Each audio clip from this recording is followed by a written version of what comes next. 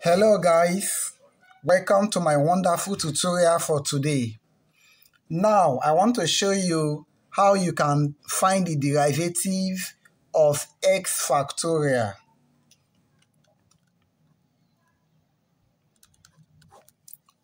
Solution. I will take you through step-by-step approach of how you can do that. Now y is equal to x factorial, okay? And we know that x factorial is equal to x times x minus 1 times x minus 2 times x minus 3 dot dot dot 3, 2, 1, okay? Now this is the first step by expanding the factorial form. Next, you will need to solve this. This is a product rule, but it will be very, very difficult for you to use direct product rule. Now, what you will do now is to take ln to both sides. Take ln to both sides.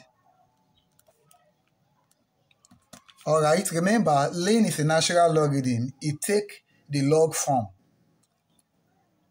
Now here we have ln y is equal to the ln of x into x minus 1, x minus 2, x minus 3, 3, 2, 1. Good. Now, we still continue ln y is equal to, since this natural logarithm form, remember, ln AB is what? Ln A plus ln B, okay? Good, this is a law of logarithm. And all these things here are products. For that being the case, we need to separate it. Now here will be ln x plus ln x minus 1 plus ln x minus 2 plus ln x minus 3 plus dot dot dot plus ln ln 3 plus ln 2 plus ln 1. And we all know that ln 1 is 0. That means ln y is equal to ln x plus ln x minus 1 plus ln x minus 2 plus ln x minus 3 plus dot dot dot plus ln ln 3 plus ln 2. This one is 0. Next, we need to continue now by differentiating because we have separated all the products to form individual logarithm. So we can easily differentiate. Differentiate both sides with respect to x. Now, let's differentiate y, ln y, sorry. Ln y is 1 all over y because it is an implicit form since we have y here, which is the independent variable. Then we need to add dy all over dx to it. All right? Is equal to ln um, differentiate ln x is 1 all over x plus differentiate ln x minus 1, 1 all over x minus 1 plus ln x minus 2, 1 all over s minus 2 plus 1 all over s minus 3 plus dot dot dot. All these are constant, so 0.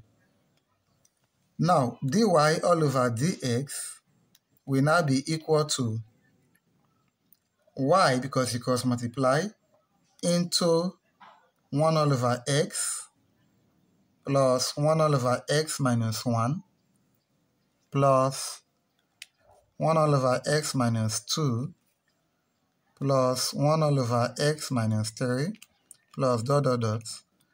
And this one can also be equal to y, take the LCM of um, x into x minus 1, x minus 2, x minus 3, dot dot dot. Now it will now be, all here will be x minus 1, because if this is the LCM and it goes, okay, I don't really see any need of expanding it from here like this. So let's remove all this. Good. And continue from here. Um, yes, we need to continue from here. So now we have equal to, what is y? y is x factorial, okay? That is y. So x factorial into 1 all over x plus 1 all over x minus 1 plus 1 all over x minus 2 plus 1 over x minus 3 plus dot dot dot. Now this is the derivative of x factorial. Thank you very much for watching. The next tutorial, then we will learn how to differentiate something like x permutation 2 and x combination 2. Stuff like this. Differentiation of combinatorics, permutation and combination. Okay? Alright? If you have not subscribed to this channel, please you really need to do so because there are a lot of technical mathematics we are solving here.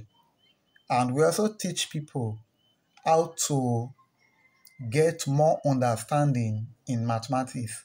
Not only that, we introduce new formulas and we work on already made formulas.